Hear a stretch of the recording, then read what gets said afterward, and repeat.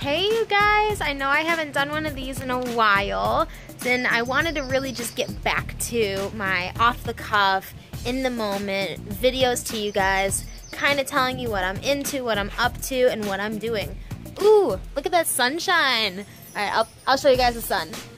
It is a gorgeous day here in Buffalo today, um, and I am fired up. I am doing this really awesome six week body transformation challenge and I want to share it with you because I'm going to now be vlogging and documenting my six week body transformation challenge. It's been a while since I've been really really strict not necessarily strict but like into my fitness regime and my health and my diet I would say that I'm usually like a healthy person like I eat really good clean proteins and I try to get as many vegetables as I can and not eating out and sugars and things like that. So my diet itself, I would say in general, is good.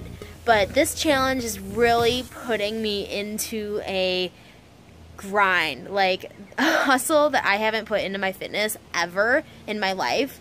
Um, and basically, it's a six week 20 pound challenge.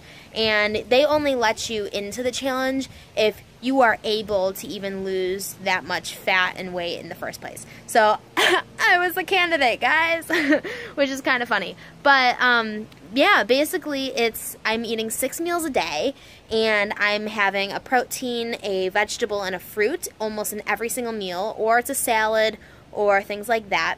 And so far, it's day number five of my diet, but the official start date was Monday. So, still in week one, only halfway through week one, I'm feeling my body, like all of my muscles, literally, you guys, hurt so bad. It's also five workouts a week.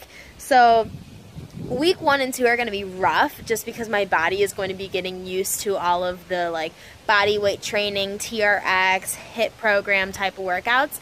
But I'm excited.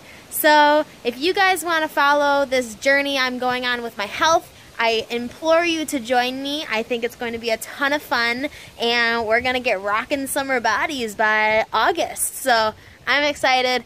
Comment below if you are excited with me, if you want to join, if you want to keep up with it. I'm going to be posting a lot on my Instagram at The Fabulous Journey about it.